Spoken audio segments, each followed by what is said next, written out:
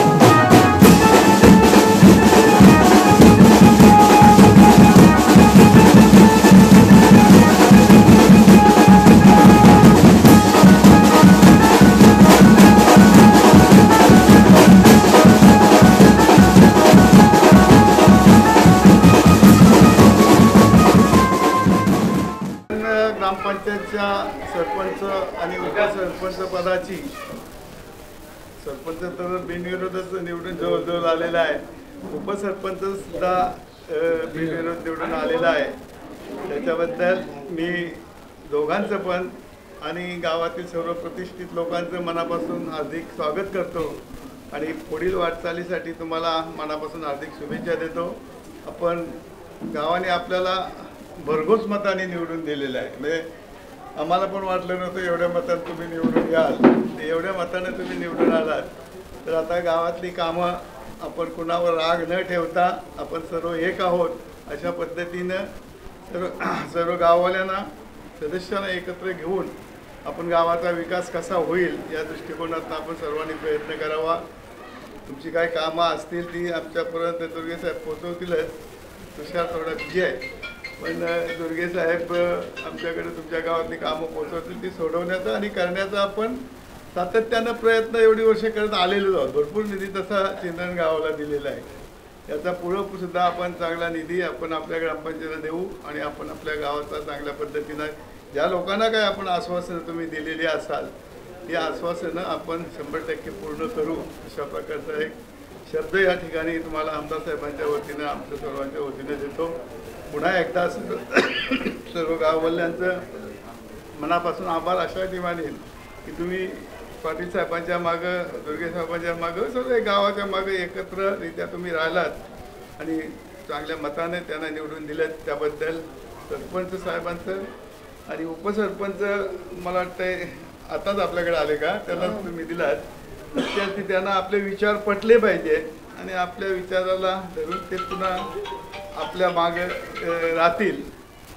पण ते उद्या विरोधी पक्ष किंवा दुसऱ्या पक्षाच्या राष्ट्रवादी विचार न करता एकत्र बसून तुम्ही सर्व कामं जर केलीत तर मला वाटते ग्रामपंचायतीचा आणि आपल्या गावाचा नक्कीच या ठिकाणी विकास चांगल्या पद्धतीने होईल. सर्वांना नवीन वर्षाच्या हार्दिक शुभेच्छा. आणि पुन्हा सरपंच उपसरपंच सर्व सदस्य आणि ज्येष्ठ कार्यकर्ते यांना मनापासून धन्यवाद देतो आणि थांबतो. जय हिंद जय